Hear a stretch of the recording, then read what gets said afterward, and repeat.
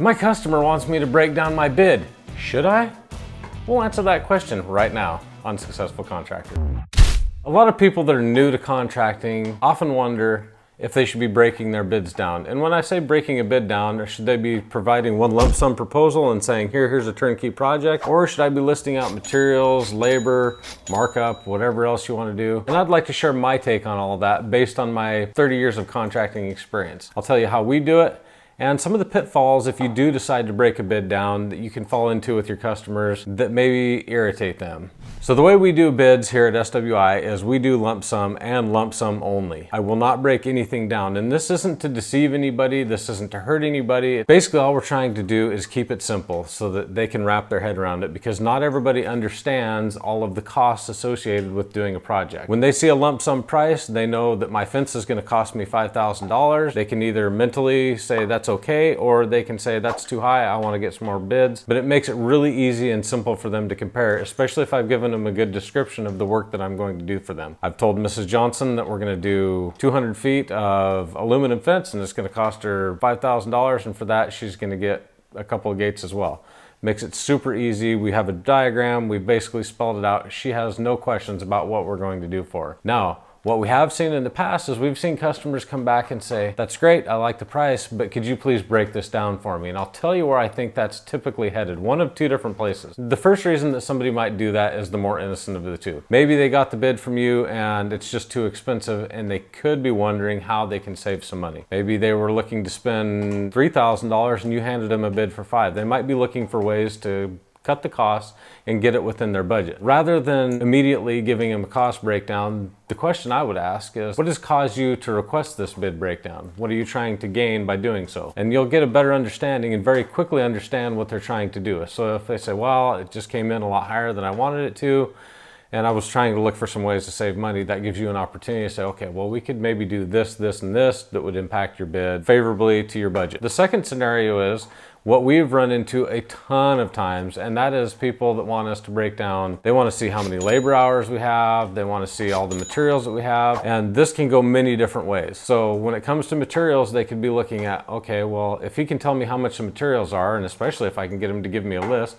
I'll just go down to the local big box store, I'll pick up all the stuff, and then I'll expect him to still do the job for what his labor cost is. Well, it doesn't quite work like that because a lot of people don't understand that we have markup on materials and that helps us cover all the overhead not to mention we've got to go to Lowe's or Home Depot and we've got to pick all that stuff up. There's a lot of costs associated with handling that material, planning all that stuff that people don't understand. And if I don't get it from the material, typically gonna have to raise my labor rate to recover those same amount of costs. My costs don't change. My cost of doing business every day don't change just because now I didn't have to go get the material or because the customer provided the material. In our company, we have a policy. We just don't use owner provided material. We don't. And if there is a case where we did ever do that, I would have a higher labor rate to cover that owner provided material. Because what usually happens is, is they're going to be missing things. It's going to be wrong and you're going to have to go chase it down or you're going to have to wait for them to chase it down. So it just opens up a whole host of problems, including you not being as profitable on the job, which that's not acceptable. That's not how we become successful contractors. The other thing I've seen happen, and we've had this happen, and this is how we've gotten to the place where we are today, is they say, well, I need a bid breakdown showing me uh,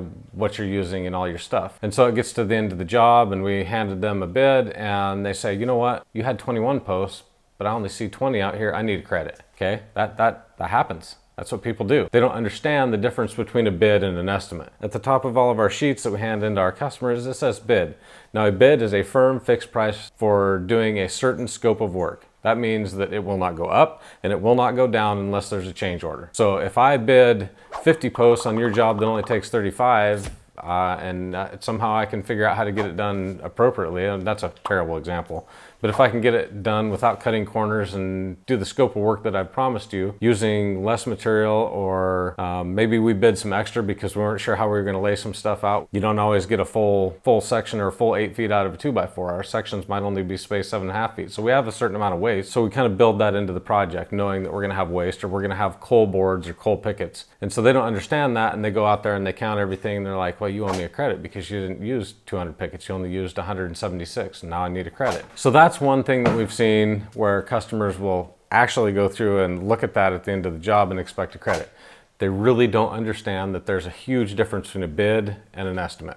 and we only do bids. It's all we do. That means at the end of the job, if we went out there and we fought it the whole time and maybe there were some unforeseen variables that we didn't know about, we eat it. On the same hand, if we go out on that same job and it went way better than we anticipated, maybe we thought it was gonna be super rocky and it was nothing but butter, and we get it done in 20 hours instead of 30, guess what? You're not getting a credit. That's the agreement we had. We had agreement for a firm fixed price to do the scope of work regardless of how good or bad the project went. Now, an estimate on the other hand is what you get at the auto dealers. When you go and you get your car fixed, they say, oh, it's gonna be about this. But then if they get in there and they find out there's other things or if it took them longer, they're gonna charge you for it. It's just an estimate. It means, hey, we think it's gonna cost about this, but good luck. We don't do that to our customers. But on the same hand, when things go extremely well, we don't give credits either. We take it on both sides. Whether you break out materials and labor, one thing I would definitely suggest you not do is break out your labor. So we have labor at a firm fixed price for the entire project. If we have bid 30 hours and we only get it we get it done in 20, we keep the extra labor to ourselves. That's a bonus for us for being extremely efficient. And the customer got a job done even faster than what we'd hoped, so they should be happy. And it didn't cost them any more than we agreed upon. Another reason to be happy. And on the flip side, if it goes really bad, they didn't get a bill for more. What happens in the labor situation is very much like the material side of things. Let's say you bid it for 30 hours and you write down 30 hours on the bid and then they, I've seen customers actually try and track how many hours you're on the job. Well, you were only on my job for 20 hours.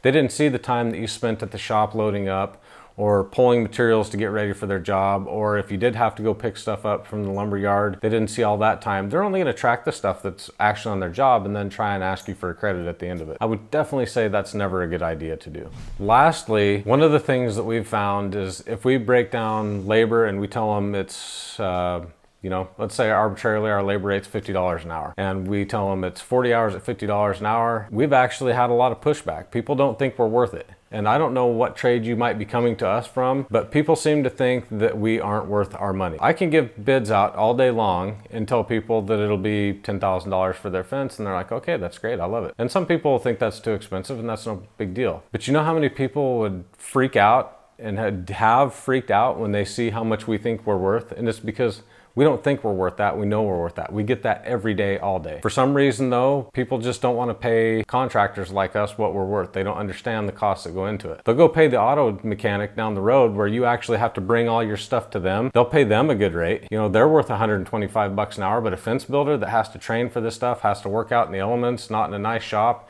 and that we actually come to you with our, you know, sometimes $100,000 worth of equipment for your job, for some reason we're not worth the same as a mechanic.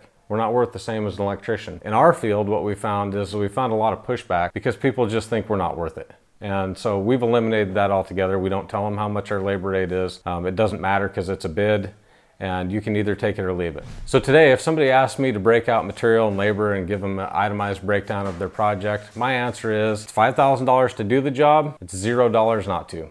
That's your breakdown. We have in certain circumstances with federal projects needed to disclose some costs and after the contract signed and everything, if they want to see some of that stuff, that's fine. But this is a bid. They need to understand, again, I think a lot of customers don't understand the difference between a bid and an estimate. The other thing I've done in a case where somebody says, hey, could you break this out for me? I say, okay, so do you want to work time and material on this job? And that means that every single nut, bolt, piece of material that I bring into this job, I bill them for. And maybe I only charge them 10% markup, whatever it is. We have that agreement up front. But every single hour I put into the project, I also bill them. And that's how we do all of our repair work for gate operators and stuff. So our gate operator people understand that, but our fence people probably don't. But when I tell them like that, you know, if this thing takes 50 hours and we only bid 40 in our estimate, because at that point in time it's an estimate, then you'll be responsible for that additional money. And then they're like, okay, no, I, I want to work on a bid. I, I, I just want to know. Homeowners really appreciate that firm fixed price. So I feel like a lot of times they're trying to get the best of both worlds. They're trying to hold you to a firm fixed price because no customer is ever going to come to you if they go out and they count up all the material and all of a sudden now there's 25 posts and you only bid 22. They're never be like, oh, I owe you some extra money. It's always the other way. So they only ever, it only ever hurts you, never ever benefits you. I can assure you of that. That's just the way it works. So that's my take on whether or not you should be breaking down your materials and labor. I'll say one last thing though. There might be that crowd out there that says, you know, that's just not dishonest. You're just you're, you're screwing people over. You're just too expensive or whatever the objections may be. Understand again, this is a firm fixed price. I provided them with a proposal. They looked at it and said, for the work you're getting ready to do, I feel like that's fair and they accepted it. We entered into a contract and both parties agree. I had, didn't coerce them into accepting that contract. I haven't told them that they had to use me or I'm gonna bust their kneecaps. There was no part of that that was forceful. Had I done any of that stuff, it would have been, it would have been, uh, what, what's the word?